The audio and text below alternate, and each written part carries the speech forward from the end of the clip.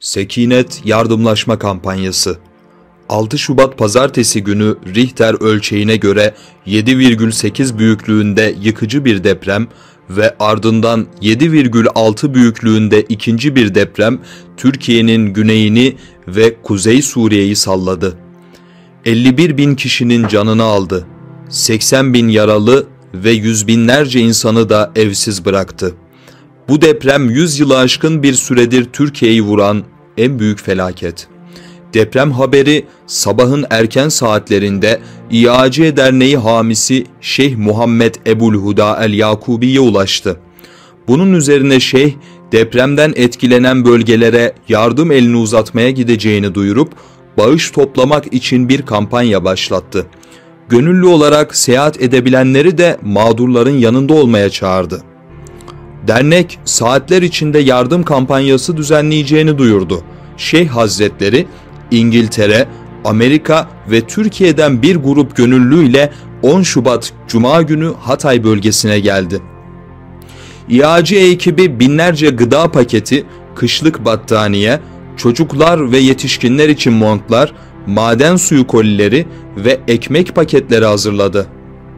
Şeyh El Yakubi liderliğindeki gönüllülerle birlikte İAC ekibi cumartesi ve pazar günleri Hatay ilinin Antakya, Altınözü ve Reyhanlı bölgelerinde Bahşin kampı, Antakya Stadyum kampı, Narlıca kampı ve Antakya Otogarı bölgesindeki kamplara Hacıpaşa, Beşaslan, Nerkezli ve Afsiye köylerinde hayatta kalanlara yardımları ulaştırdı. Bu kampanyadan depremden sağ kurtulan Türk vatandaşları ve Suriyeli mülteciler de dahil olmak üzere 14 bin kişi faydalandı. Allame El Yakubi kamplarda ve köylerde mazlumların yanında yer aldı. Onlarla konuşup tatlı sözleri ve samimi dualarıyla yaralarına merhem olmaya çalıştı. Taziyelerini iletmek için bazı şehit ailelerini ziyaret etti. Başlarına gelen musibetten sonra onların azmini pekiştirip sabrın anlam ve önemini anlattı. Bu ziyareti yaraların sarılmasında, insanların alimlerle bağlarının güçlenmesinde ve alimlerin ümmet önderliğindeki rollerinin pekişmesinde etkili oldu.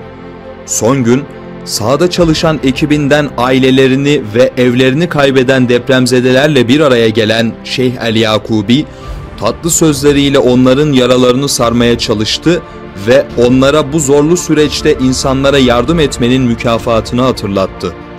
İAC'nin medya yetkilisi Mutasım el-İbadi'nin depremde kardeşini ve tüm aile fertlerini kaybetmesine rağmen kendine hakim olup Sekinet kampanyasına katılması dikkat çekici bir husustur.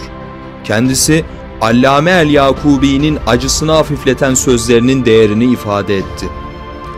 El-Yakubi, pazartesi günü İstanbul'da Lalegül TV'de canlı olarak yayınlanan Şeyh Cübbeli Ahmet ve Şeyh Fatih Çıtlak'ın katıldığı bir dua meclisi düzenledi.